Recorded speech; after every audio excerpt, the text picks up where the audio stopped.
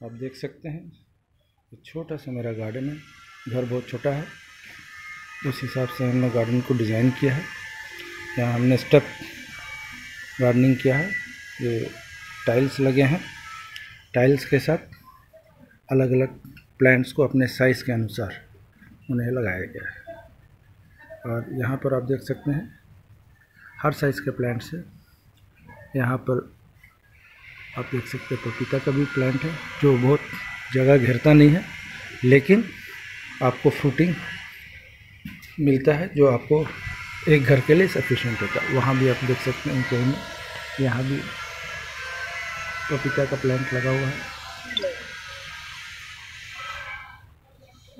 और ये पूरे जगह में अलग अलग प्रकार के, और यहाँ नीचे आप देख सकते हैं पूरा पुदीना है। आमतौर पर लोग यहाँ ग्रास लगाते हैं तो ग्रास जितना अच्छा दिखता है, उससे अच्छा शायद पुदीना दिखता है। पुदीना का दो फ़ायदे हैं, एक तो इससे एयर प्योरीफायर रहता है और जब भी आपको चटनी बनाना है या किसी सब्ज़ी के साथ यूज़ करना है, ये पुदीना को यूज़ कर सकते हैं। एक और चीज़ आपको दिखाना चाहता हूँ, यहाँ पर तुलसी का पेड़ है। तुलसी भी एयर प्योरीफायर है, यहाँ दो तीन पेड़ वो भी लगे हुए हैं, तुलसी के काफ़ी अच्छे हैं। और जगह की कमी की वजह से हमने अपना गार्डनिंग छत के ऊपर भी किया है, जिसको हम थोड़ा देर में दिखाते हैं। और जहाँ कहीं हो सके, वहाँ सब प्लांट्स को हमने लगाया, जिससे कि ऑक्सीजन अच्छे तरीके से मिल सके, चाहे वो घर के अंदर ही क्यों ना हो, अब खिड़कियों में क्यों ना हो, हर जगह इस प्रकार के प्लांट्स देख सकते हैं। अब हम अपने किचन गार्डन की ओर ले जा रहे हैं। ये देखिए, यहाँ भी प्लांट्स हैं। अब किचन गार्डन में जा रहे हैं। किचन गार्डन छोटा सा है। हर जगह प्लांट्स मिलेगा आपको। ये पूरा ये कुंदरू का पेड़ है। यहाँ पर पूरे कुंदरू लगे हुए हैं और ये हैंगिंग प्लांट्स भी हैं यहाँ पूरे। और ये कुछ शो प्लांट्स भी हैं। नीम का पेड़ है। और गिलोय का पौधा भी लगा हुआ है और वहाँ थर्मोकोल में भी कुछ कुछ प्लांट्स लगे हैं। वाश बेसिन के ऊपर भी प्लांट्स लगे हैं। अब हम लोग चलते हैं बालकनी में। बालकनी में भी इसी प्रकार से कई प्रकार के प्लांट्स लगे हैं, जो आपको मैं दिखाना चाहूँगा। बालकनी में जितना स्पेस यूज़ हो सकता है इवन किचन में भी आप जब प्लांट लगाते हैं तो उसकी एक अलग खूबसूरती हो जाती है। अब सीधे हम लोग चलते हैं बालकनी में। ये बालकनी में जा रहे हैं तो ऑन द वे आप देख सकते हैं, यहाँ भी प्लांट्स लगे हैं। कॉर्नर्स का भी यूज़ किया गया है। और और आगे चलें। ये हमारी बालकनी है। बालकनी में आते आप देखेंगे, यहाँ भी काफ़ी खूबसूरत नज़ारा है। ये पूरे प्लांट्स हैं। और ये प्लांट्स काफ़ी समय से हमारे पास हैं। और इनका डेली देखभाल ज़रूरी है, नहीं तो ये जल्दी सूख जाते हैं क्योंकि पॉट में है और ये देख सकते हैं, ये फ्लावरिंग भी कर रहे हैं काफ़ी बड़ा हो चुका है। कई वर्षों से ये एक टब में लगा हुआ है ये फ्लावरिंग। आप देख सकते हैं, यहाँ थर्मोकोल में भी प्लांट्स लगे हुए हैं। और ये पुराने पेंट के डब्बे, बाल्टी, इन सभी में प्लांट्स लगे हुए हैं। ट्रेस अलग अलग प्रकार का ट्रे, इवन टब, जो यूज़फुल टब नहीं है, उसको प्रिंट करके हमने इस प्रकार से प्लांट्स लगा दिया आप देख सकते हैं, हर प्रकार के प्लांट और इसमें गर्मी ना पड़ने के लिए छत में ग्रीन शीट लगा दी है, ताकि इसका जो टेम्परेचर है कंट्रोल रहे। अब यहाँ पर भी देख सकते हैं, बहुत फ्लावरिंग हो रहा है। अच्छे किस्म के रोज़ हैं, जो देसी किस्म के रोज़ हैं, इसमें फ्लावर हमेशा रहता है और काफ़ी अच्छा खुशबू भी रहता है। अब ले जाते हैं आपको। दूसरे कॉर्नर यहाँ भी प्लांट लगे हैं, नीचे भी प्लांट लगे हैं, यहाँ भी प्लांट्स लगे हैं। मतलब हर खिड़कियों में भी प्लांट लगाया जा सकता है।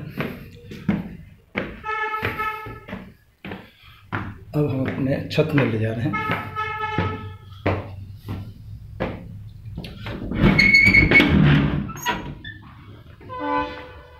आप देख सकते हैं, प्लास्टिक के पुराने पाउच में यहाँ पर प्लास्टिक के पाउच में हमने ये पपीता का पौधे लगाए हैं जो कि बा, बाद में रिप्लांट होगा। यहाँ ग्लाइडर प्लांट्स लगाए हैं। आप देख सकते हैं जो कुछ समय के बाद गमला से इसको ज़मीन में प्लांट किया जाएगा। एंथूरियम काफ़ी अलग अलग कलर्स में है। यहाँ मैंगो ट्री है जो टिन में यूज़ किया गया है। और यहाँ भी फ्लावर्स है। रोज़ के फ्लावर हैं। और ये चाइनीज़ रोज़ जो छोटे छोटे साइज़ में आते हैं, वो है। और यहाँ पूरा आप देख सकते हैं हरा भरा माहौल। ये एक अलग वैरायटी का भाजी है, जो काफ़ी अच्छे साइज़ में ग्रो हो जाते हैं और काफ़ी टेस्टी है। ये साउथ इंडिया से इसको हमने इसका सीड लाया था। यहाँ पर आप देख सकते हैं भी है। बिही के साथ यहाँ पर हमने यहाँ पर बैगन का भी पौधा लगाया बैगन दिखता हो। बैगन भी है इसमें। और इसमें मोगरा का पौधा है। ये यहाँ पर जामुन है। और यहाँ भी वही सेम भाजी। अलग अलग वैरायटी का। यहाँ पर टब में भी देख सकते हैं। यहाँ पुदीना लगा हुआ है। और यहाँ पर आपका कमल का कमल लगाया गया है टब्स में। और ये अपने सीज़न के अनुसार ये टब्स में कमल फूलते हैं। यहाँ सारे कमल है और ये भी फूलते हैं। यहाँ कुंदरू का पेड़ है। ये भी एक अलग वैरायटी का कुंदरू का पेड़ है। आप देख सकते हैं ये कुंदरू बहुत अच्छा फ्रूटिंग देता है सीज़न में। और इसको हमने कई लोगों को बांटा भी है। और यहाँ खुशबूदार पेड़ पौधे भी हैं फूल जिसका खुशबू काफ़ी अच्छा है। नाइट टाइम में इसका खुशबू बहुत अच्छा लगता है। अभी इसमें फ्लावर्स आ रहे हैं। यहाँ भी एक अलग प्रकार का खुशबूदार पौधा है। तो यहाँ का वातावरण बहुत अच्छा लगता है शाम के समय। यहाँ देख सकते हैं इसमें भी फ्लावर्स आ गए ये सब सेंटेड फ्लावर्स है।